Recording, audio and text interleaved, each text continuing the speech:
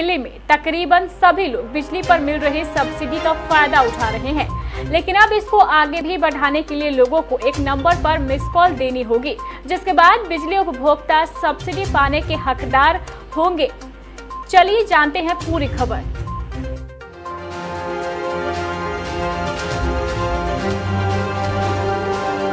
राजधानी दिल्ली में सभी उपभोक्ताओं को सब्सिडी से बाहर निकलने या 1 अक्टूबर से मुफ़्त बिजली प्राप्त करने का विकल्प दिया जा रहा है।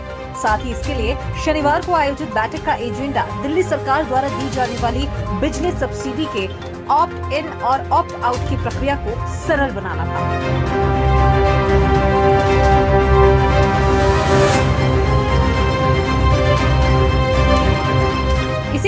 अब बिजली सब्सिडी दिलाने के लिए जल्द ही दिल्ली सरकार मिस्ड कॉल नंबर जारी करने वाली है। इस नंबर पर रजिस्ट्रेशन कराकर भी बिजली उपभोक्ता सब्सिडी पाने के हकदार होंगे।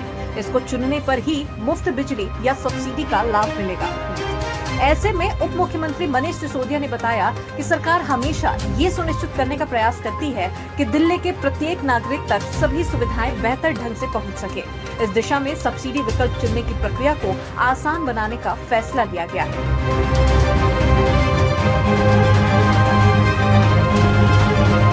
रिपोर्ट्स की माने तो सब्सिडी लेने के लिए लोगों को मिस्ड कॉल या व्हाट्सएप पर रजिस्ट्रेशन का विकल्प मिलेगा।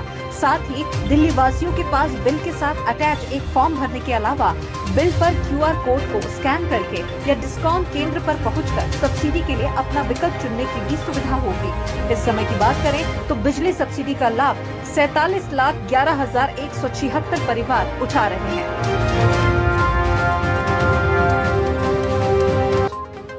वीडियो को लाइक करें, शेयर करें और चैनल को सब्सक्राइब करें। खबरों के नोटिफिकेशन के लिए बेल आइकन दबाना न भूलें।